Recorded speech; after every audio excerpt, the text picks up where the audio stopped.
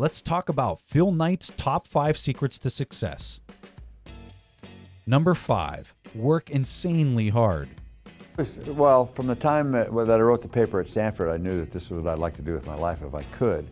I knew the odds were a bit against, and uh, it was going to be hard to, to make it happen, but uh, I knew if I could, that's what I wanted to do. Number four, be passionate about the journey despite the ups and downs. Nike is successful now.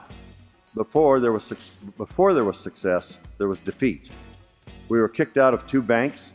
We borrowed money once from a shoebox manufacturer to meet the payroll. On another time, we had to sell $2,500 at a national PE convention in Seattle, Washington on a Friday so we could meet payroll on Monday. In all those cases, the lessons from the fields and the courts, the lessons of competitive response, were the most valuable of all.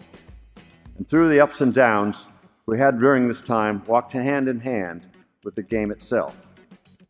Number three, be willing to put everything on the line. And dare to take chances, lest you leave your talent buried in the ground. And where there is no struggle, there can be no art. The only time you must not fail is the last time you try. Number two, trust and relationships go a long way.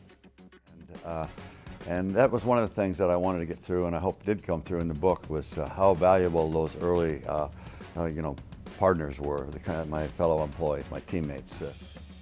And number one, go crazy. It was a crazy idea to the outside world, but it never really was to me. That uh, it was always a big hope. My name is Preston Pysh, and I host the Investors Podcast, where we study billionaires and their secrets to success. If you like this video, make sure to subscribe to my channel or listen to my free podcast episode about Phil Knight by clicking on the link below this video.